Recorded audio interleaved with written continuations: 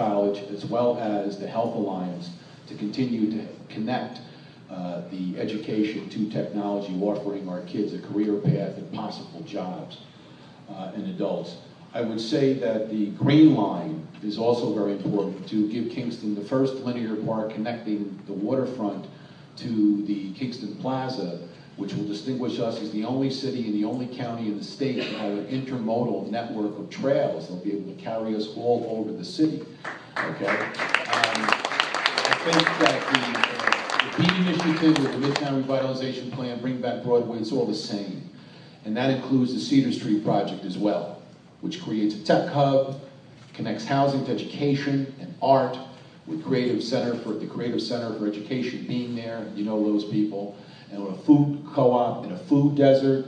So I want to continue these initiatives, okay, that, that revitalize Midtown, connect